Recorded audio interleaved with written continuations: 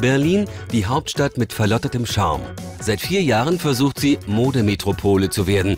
Mit Shows, großen deutschen Marken und Designern, die noch nicht allen bekannt sind, aber in Berlin eine Plattform bekommen.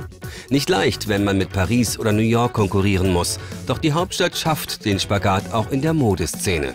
Was halt im Moment passiert, sind viele junge Designer, sind viele äh, neu, kleine Firmen, dass es aus dem Herzen rauskommt und dass man einfach macht, weil, weil das ist das Ding, wo ich einfach machen will.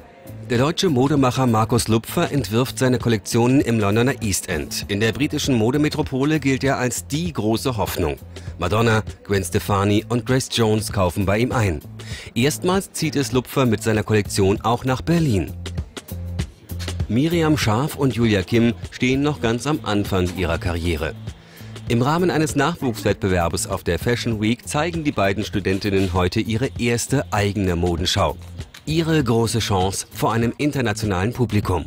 Das ist einfach eine gute Plattform, um äh, sich vorzustellen und irgendwie auch seinen Namen irgendwie ein bisschen bekannt zu machen.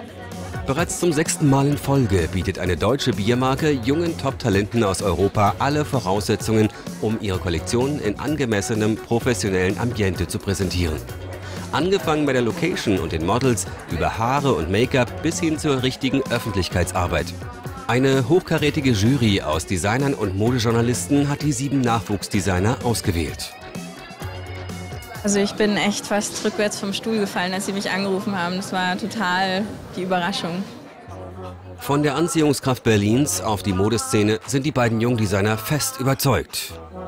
Ich denke, Berlin ist eine Stadt, äh, in der es so brutzelt. Also wenn man hier so durchläuft, ähm, es ist einfach so ein, so ein Flair.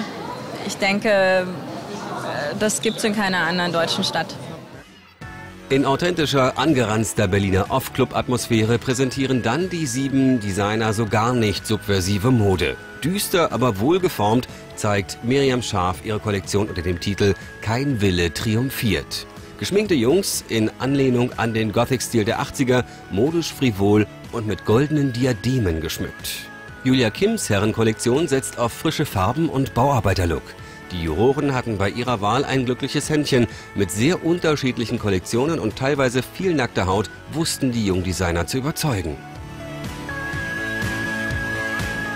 Unter den Zuschauern auch die französische Modeexpertin Jasmina Bemsarat.